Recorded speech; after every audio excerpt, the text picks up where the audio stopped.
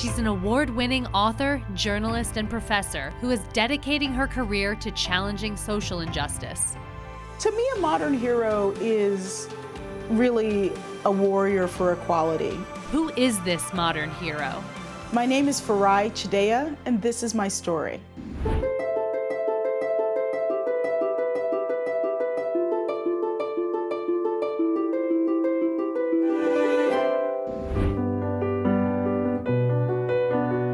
Farai is a woman of many talents, but writing has always been part of her DNA. Her grandmother once wrote stories for the longest running African American publication in the U.S. And years later, her parents started a newspaper in Zambia.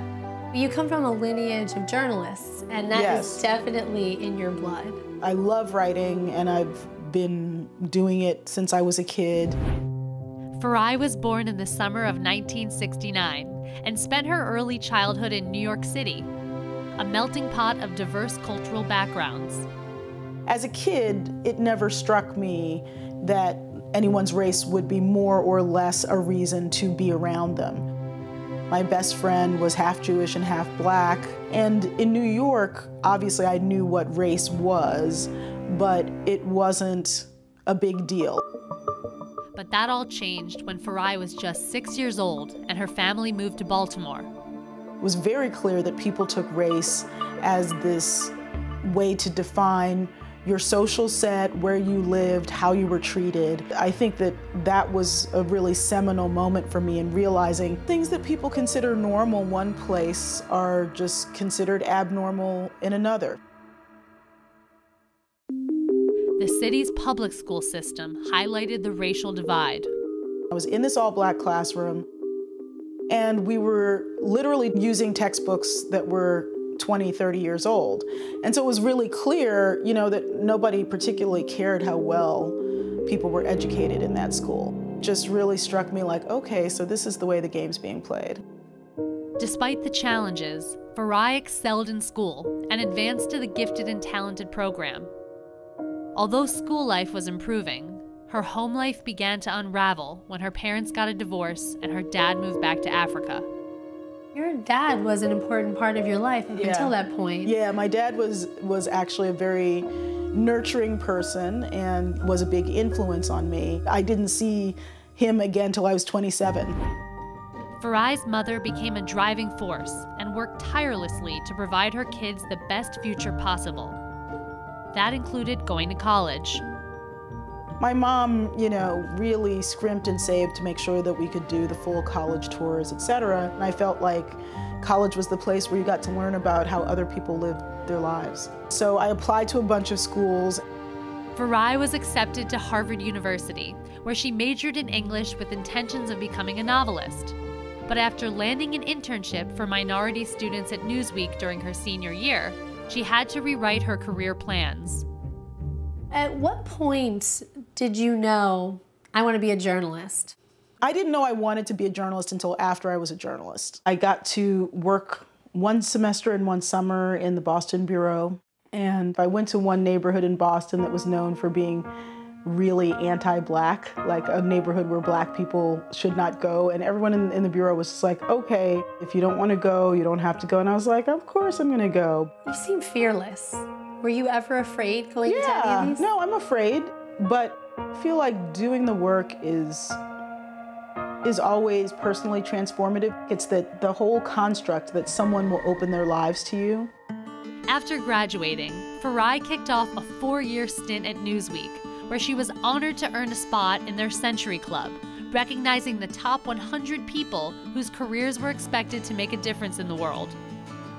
So it was an award that Newsweek had given, um, you know, just to people who they thought were doing great work or promising, and it was very humbling to me. Farai went on to merge her love of pop culture and politics as part of the team at MTV News, and later was inspired to launch popandpolitics.com in 1995, which lasted 15 years and became a training ground for young journalists. It was one of the first online pop culture magazines in the nation, which landed her the number 7 spot on politicsonline.com's list of 25 people changing the world of internet and politics. It also earned her a Moby IT Innovator Award. What did you want to come of it? What I originally wanted to come of it was a way to reach younger people with political information that they would pay attention to. Farai was simultaneously working on her first book called Don't Believe the Hype, which was a critique of race in the media. Her unique viewpoint evolved into a whole new career path political punditry. Tell me how you got into becoming a pundit, because that is such a unique space. When Don't Believe the Hype came out, I did a bunch of TV interviews, and um, CNN had me on, and then they had already, I think, had in progress this whole idea to hire millennials to do some punditry, so that's how I got brought in. Farai was launched into the media spotlight and has spent more than two decades providing political analysis and commentary to networks like CNN, ABC, MSNBC, Fox News, and HBO. She's even tackled the airwaves as host of NPR's News and Notes, which earned awards from the National Association of Black Journalists and the National Lesbian and Gay Journalists Association.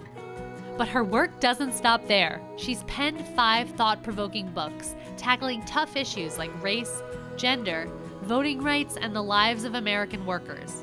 And her work is now used as a teaching tool at a number of colleges around the country. Do you think that these experiences that you've had throughout your life shaped your direction in wanting to educate others so that they can make ethical, informed decisions in their life? Yeah, I do think that my my own experiences in the workplace certainly influence why I've spent so much time mentoring people because I think in some ways mentoring is the only thing that works. Farai served as an educator at institutions like USC, NYU, and her alma mater, Harvard University. If you're in a system that it fundamentally has some level of injustice, then you train other people to be ethical and successful so then they have power and they can make ethical decisions and reward people. And so every time someone who I've mentored moves into a leadership position, I feel like I've done my job.